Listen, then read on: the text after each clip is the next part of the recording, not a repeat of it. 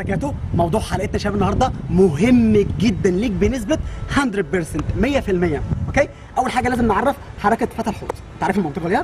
حركة فتح الحوض هي حركة ري- رياضية تؤثر على عضلات الفخذين وعلى عضلات السمانة وعلى الأوتار المرتبطة والمحيطة بالعظام. وطبعا ده كله جدا مفيد هتفيدك في تمدد الإطالة وفي تقوية الركب. أوكي؟ طيب موضوع النهارده لازم نعرف إيه هو الألم الطبيعي أثناء التمارين على فتح الحوض أو تمارين الإطالة. وايه هو الألم الضار يعني؟ إيه هو الألم الطبيعي؟ وإيه هو الألم الضار؟ والفرق بين التمزق في الأربطة والفرق بين الشد العضلي. وإزاي نعالج التمزق وإزاي نعالج الشد العضلي؟ سواء عن طريق افعال أفعال يدوية أو عن طريق أدوية أو عن طريق تمارين. لازم ناخد ده كله ونستفيد منه. ما تجيش عند خالص okay؟ لازم نعرف أول حاجة لو أنت بتتمرن على فتح الحوض يوميا. طبعا زي ما قلنا أنت محتاج تتمرن يوميا عشان آه، تحافظ على مستوى الاطاله بتاعك يكون مفتوح دايما. طيب في ناس للأسف بتستخدم ممكن التمارين غلط okay؟ أو بتستخدم التمارين بشكل متزايد فيه. عايزين نعرف إيه هو الألم الطبيعي؟ الألم الطبيعي هو الألم الذي تشعر به في أوتار قدميك okay؟ أثناء التدريب الصحيح على فتح الحوض. ده الألم الطبيعي. okay؟ يبقى تاني الألم الطبيعي في فتح الحوض أو في التمرين على الإطالة هو الألم الذي تشعر به أثناء أثناء التدريب. الصحيح يعني استخدام الت- التدريبات بشكل صح أثناء فتح الحوض أما إيه بقى؟ هو الألم الضار اللي ده ممكن بقى يسبب لك شد أو تمزق. أوكي؟ الألم الضار هو الألم الذي تشعر به بعد الانتهاء. يعني هو الألم اللي انت تشعر به بعد ما خلصت بعد الانتهاء. من التدريب على تدريبات الإطالة أو تدريبات فتح الحوض آه بعد مضي مدة مدة 10 دقائق أو 15 دقيقة تقريبا يعني لو أنت اتمرنت فتح حوض كتير قوي وبعدين فضلت حوالي 15 دقيقة أو 10 دقائق تقريبا okay؟ ولسه بتشعر بوجع بس الوجع ده لازم يكون شديد ما يكونش وجع ضعيف. لو وجع ضعيف عادي. يبقى أنت كده ممكن لا إما اتصبت بشد لا إما اتصبت بتمزق. فاحنا في كده الحالتين سواء عندنا الشد أو التمزق لازم نعرف إيه الفرق بينهم ولازم كمان إزاي نعالجهم. okay؟ والناس اللي مش عارفة إيه الفرق بين الحوض والإطالة يا ريت نراجع على الفيديو ده فوق الرابط الفرق بين الحوض والإطالة. okay؟ بسم الله الرحمن الرحيم. نيجي بقى لموضوع المزق والشد العضلي بصوا يا شباب اللي بيتمزق اللي بيجي له مزق فتح الحوض لازم برضه يكون عارف إيه المزق. المزق عبارة عن ألم شديد okay؟ سواء تحسه هنا أو هنا أو هنا يعني في الأوتار المحيطة بالعظام كلها okay؟ أو العضلات عند الفخذين أو السمانة okay؟ الفخذ ال- يا ربي التمزق بيكون عبارة عن إيه؟ عن وجع شديد بيكون نتيجة استخدامك للتمارين بشكل خطأ okay؟ يعني زي مثلا واحد. حد مثلا بيتمرن تمرين زي ده وبيضغط مثلا وبيضغط كده ركبة مثلا مرفوعة كده ما ينفعش لازم تكون مثلا رك- ركبك دي كلها ركبتك دي كلها ممدودة كده وأعرف أضغط في حد ممكن مثلا يستخدم التمرين بشكل غلط زي كده. تمام؟ ده غلط. أوكي؟ أو مثلا حد عامل تمرين الفراشة لسه مبتدئ ويدوس جامد من أول مرة. لا لازم أبدأ إيه؟ بالتدريج. أو حد يروح قاعد طالع قاعد عليك فجأة. يعني سواء التمرين أنت مش بتركز فيها إنك بتستخدمها بشكل صح فممكن يحصل لك إيه؟ تمزق. أو أو أنت بتتمرن زيادة عن اللازم. كتير قوي. أرهقت الأوتار بتاع بتا... أو أرهقت يا رب الأوتار بتاعتك. فبنقول حصل له آه تمزق. أوكي؟ يبقى التمزق زي ما قلنا نتيجة التدريبات الخطأ أو التدريبات المتزايدة مما يؤدي إلى إرهاق الأوتار آه، والعضلات في الفخذين وعند الساقين وعضلات السمانه تمام؟ ده التمزق.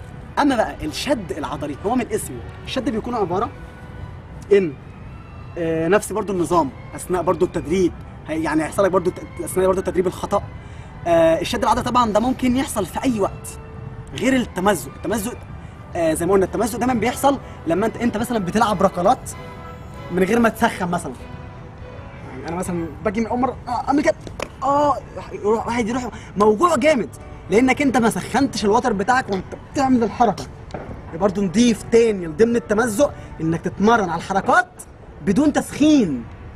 ده برضه هيسبب لك تمزق ألم شديد. أوكي؟ وممكن طبعا يلتهب. طيب الشد العضلي بقى ده ممكن يحصل لك في أي وقت سواء أنت بتتمرن سباحة بتعوم ممكن تكون ماشي كده عادي ممكن تكون بتجري آه، رجلك تتني الأنكل الكعب بتاعك يتني وأنت بتلعب كورة أي حاجة يجي لك شد عضلي. شد العضلي بقى بيكون عبارة عن إيه يا شباب؟ بيكون عبارة عن إن الوتر بتاعك فجأة كده تلاقيه وقف وقف وقف بصوا كده السمانة مثلا وقفت كده وقفت كده شدت طالعه كده لبره كلها. شدت جامد. تمام؟ فهو بيكون معظمه نتيجة آه، التمارين الخطأ التمارين الخطأ أو مثلا أثناء الالتواء أنت أنت التويت. فاللي بيحصل إن تقريبا آه، لحد علمي إن الوتر بي- بيجي في مكان غير المكان. مكان. مكان غير المكان. فعشان كده تلاقيه مشدود مشدود جامد. تحس إن هو عامل زي العضماية كده. مشدود جامد قوي. أثناء التمارين برضو الخطأ أو أثناء برضو التدريب المتزايد زيادة عن اللازم قوي. okay؟ آه وأثناء استخدام زي ما قلنا التمارين الخطأ وممكن يحصل لك في اي وقت وأنت بتلعب كورة لو أنا ال- التويت أي حاجة. طيب نيجي بقى لحكاية علاج سواء التمزق سواء الشد. الشد بيكون أمره صعب شوية يعني الشد اللي بياخد وقت أكتر. اللي بياخد وقت ممكن شوية في العلاج بتاعه التمزق لأن التمزق عبارة عن ألم. لكن الشد بيكون في ساعتها. الشد أول علاج ليه عندك هتبدأ بالتدليك. هنعمل حاجتين حاجة اسمها استرخاء وتدليك. ما ينفعش إن الوتر بتاعك يكون مشدود وأنت متعصب جامد ومتضايق أو بتعيط أو زعلان لا لازم تكون relax سيب نفسك خالص. سيب نفسك لما تسيب نفسك تسترخي okay؟ الوتر إيه؟ هيبدأ يسترخي معاك تمام؟ هبدأ أستخدم بصوابعي التدليك لازم التدليك. ده دي حاجة مؤقتة يا شباب. يعني واحد جاله شد مفاجئ. لازم إن أنا أدلك أحاول بصوا أدار ادلك أحرك أحرك أحرك العضله أنا حصلت لي كده في مرة السمانة دي كلها جت في مكان تاني والله. جت في مكان تاني. لو أنا مش قادر أدلك أنا مش قادر أدلك. لو أنا مش قادر أدلك يعني لو في زمايلك معاك تحاول تنام خالص كده وخلي زمايلك الاثنين تمام؟ وهي رجلك ممدودة كده الاثنين يدلكوا لك جامد.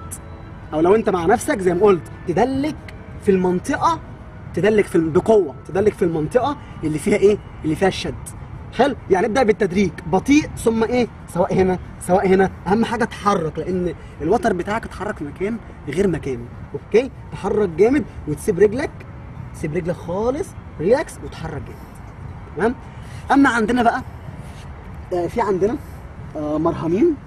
آه طيب نيجي بقى من الناحيه الطبية عندنا مرهمين مشهورين جدا جدا آه في علاج الحالات دي. مرهم اسمه مرهم Moov okay؟ Moov massage. مرهم اسمه Reparil gel. هما الاثنين مفيدين جدا بس أكيد في اختلاف بسيط ما بينهم.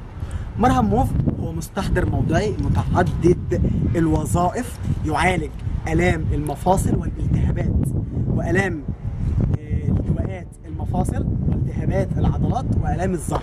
okay؟ أما آه، مرهم Reparil gel هو مسكن للالام ومضاد للالتهابات وللتورم تمام؟ دول أكتر مرهمين إحنا بنستخدمهم. الفرق بين الاثنين هو مرهم Moov مرهم آه، آه، يا ربي مرهم Moov مش مضاد للتورم. يعني أنت مثلا دلوقتي لو أنت في حصل شد حصل شد عضلي أو حاجة وبدأت تحس إن في تورم بيحصل يبقى لازم تستخدم مرهم Reparil gel هتدهن عادي جدا. okay؟ تدهن المنطقة اللي فيها. ورم أما لو أنت حاسس إن مفيش آه، تورم ولا أي حاجة فيفضل إنك أنت تستخدم مرهم إيه؟ Repari Repari آه يا ربي Moov. مرهم Moov هتلاقيه كده بيعمل سخونية ومفيد جدا. ما تربطش رباط ضغط ولا أي حاجة على المرهم. okay؟ طيب لو هتروح البيت بقى هتبدأ تعمل إيه؟ هتبدأ تعمل ثلاث حاجات. أول حاجة استخدم التدليك بالمية السخنة. okay؟ اسخن مية وهدلق وادلك تمام؟ وتدلك عادي جدا. المية السخنة برضو إيه؟ بتعمل نشاط كده للوتر بعد التسخين okay؟ آه حط إيه؟ المرهم. حط المرهم. تمام بعد أما تحط المرهم استخدام بقى رباط الضغط. ممكن تستخدمه ممكن لا. يعني إذا تستخدمه بس يكون إيه بقى؟ بالراحة خالص. يعني مكبوب بالراحة جامد جامد. ويفضل يفضل إنك ما تستخدمش رباط الضغط. هو زي ما قلت لك التدليك والمرهم. ولو هتستخدم رباط الضغط بالراحة. ماشي؟ آه يبقى نفس يبقى إحنا كده شباب عرفنا الفرق بين الشد العضلي والفرق بين التمزق أوكي؟ آه نفس النظام هم هم يعني علاجهم بس آه مختلف شوية. التمزق بقى زي ما قلنا هو الوجع وجع بياخد وقت شوية. بس التمزق وضع مختلف. التمزق بقى معظم أغلبية علاجه بيكون عبارة عن تمارين مجموعة تمارين فأنا مجموعة التمارين ديت اهي من الرابط ده عامل لكم مجموعة تمارين بتعالج التمزق تمزق في فتح الحوض. نشوف الفيديو ونراجع عليه. تمام؟ الناس اللي عندها تمزق. يبقى إحنا كده عرفنا آه إيه الألم الطبيعي وإيه الألم الضار. أوكي؟ طيب نيجي بقى لحكاية الألم الطبيعي والألم الضار طبعا وعرفنا الفرق بين التمزق والشد طيب نيجي بقى لحكاية آه لو أنا حسيت بوجع. هل مثلا بتمرن أول يوم لو حسيت بوجع هل أتمرن تاني يوم؟ زي ما قلنا. زي ما قلنا لو انت حسيت الوجع حسيت يعني في الوجع بقى الضار لو انت بعد عدى 10 15 دقيقة ولسه الوجع موجود جيت تاني يوم برضه لسه الوجع موجود حلو؟ لو انت مبتدئ أكيد ممكن تفضل تحس بوجع. إحنا قلنا الوجع. يعني عشان تعرف إن الوجع ضار لازم يكون وجع شديد قوي مبالغ فيه. لكن حتى لو عدى 15 دقيقة والوجع خفيف فده برضه وجع طبيعي لأنك أنت لسه مبتدئ. تمام؟ يفضل مثلا لو أنت هتريح آه لازم تريح برضو الأوتار بتاعتك. ممكن مثلا إيه أتمرن يومين ويوم يعني أو يوم لأ أتمرن يومين ويوم لأ. أو ممكن تعمل إيه؟ تتمرن يوم على فتح الحوض واليوم التالت تتمرن بس اتمرن بالراحة مش قوي. يوم أتمرن يوم بالراحة. أو يوم على فتح الحوض ويوم على الإطالات. واللي مش فاهم الحب والفرق بين الحوض والإطالة رجع برضه يعرف إيه الفروق- الفرق بين الحوض والإطالة؟ okay؟ أتمنى يكون الفيديو آه، استفدتوا منه. ده اللي أنا نفسي أوصله لكم. آه، عرفنا الفرق بين كل حاجة الألم الطبيعي والالم الضار والتمزق والشد العضلي وإزاي أعالج وإزاي أستخدم أهم مرهمين Moov و Reparil. ربنا يوفقكم. واي حد عنده تمزق أو شد ألف ألف ألف سلام عليه. وحقك عليا مع إنك أنت الغلطان بس حقك عليا. وما تستسلمش ابدا. ثقة بربنا ثقة بالنفس إصرار إرادة عزيمة. ما تستسلمش لأي ظرف. أحاول كتير كتير. هيكون حلمك محقق ومنال. وإن شاء الله ترتاح البال. سلام